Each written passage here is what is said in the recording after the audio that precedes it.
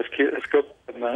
Ta dnešní zpráva, půl miliarda navíc pro sociální služby, to je jednodenní smír mezi ČSSD a vládou. Je to věc, kterou přivítáte, nebo je to málo?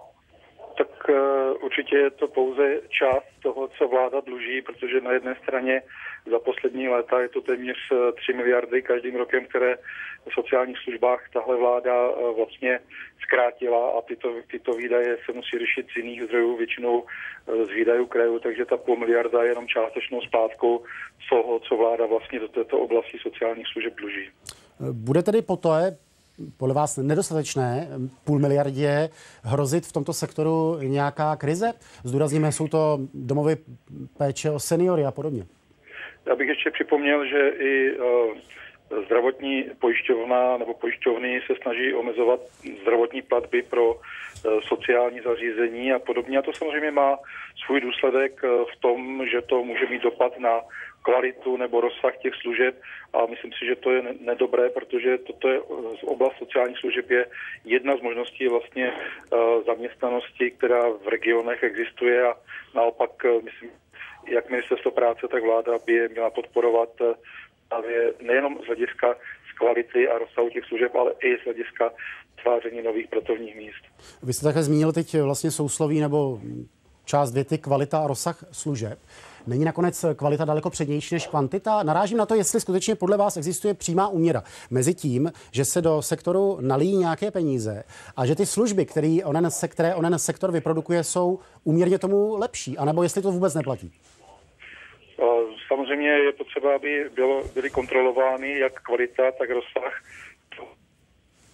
By mělo vlastně směřovat i komunitní plánování jak na úrovni měst, tak na úrovni krajů. Myslím, že všechny kraje tyto komunitní plány mají a z těch vlastně potom vychází i financování. Pokud je o sektor sociálních služeb, ten je dlouhodobě podfinancovaný, což se ukazuje i třeba na úrovni výší, výše mest zaměstnanců v tomto rezortu nebo v tomto oboru porovnanou prací ve zdravotnictví. A vlastně, kdy jenom pro ty peníze, které, nebo pro ty platy, tak by to určitě nedělali.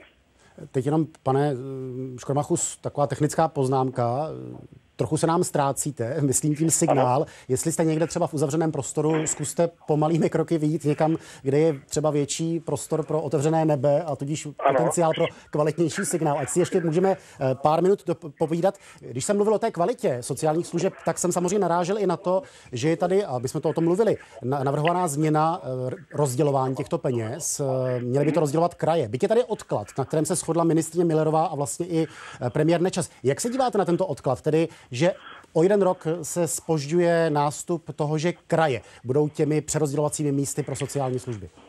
Já to vidím jako nešťastné, protože už v původním návrhu, který vlastně ještě vznikl za mého ministrování a za naší vlády, eh, bylo právě, že jak finance, tak eh, odpovědnost za tuto oblast budou mít kraje. Ale problém je právě to, že vláda není schopna garantovat krajům, že jim převede eh, dostatečné, dostatečné množství peněz tak, aby to nedopadlo tím způsobem jako v mnoha jiných případech, kdy vláda převede na kraje nebo na města, na obce některé povinnosti, ale peníze už nenásledují.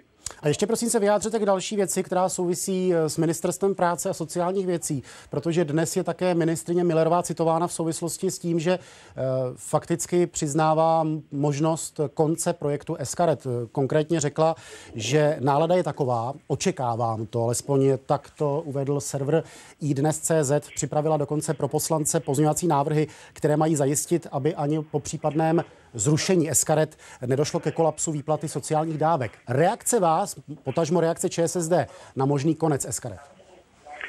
Tak eh, kdyby vláda ty karty vůbec nezavedla, nemusela je rušit a ministerstvo s tím nemělo problém, což byl postoj sociální demokracie v době, kdy se karty vlastně panem Drábkem eh, prosazovali a schvalovali a myslím, že i nečasová vláda jim dala posvěcení. V této chvíli samozřejmě z naší strany jsme rádi, že i vláda a ministerstvo došlo k tomu závěru, že je potřeba karty zrušit a pokud jde o některá přechodná opatření, která se týkají techniky, jak to udělat, eh, to si myslím, že je věc, na které určitě najdeme zhodu eh, v rámci senátního návrhu na zrušení těchto eskaret a který dneska je ve výboru sociálním ve sněmovně a věřím tomu, že se podaří v krátké době S-karty jako takové zrušit.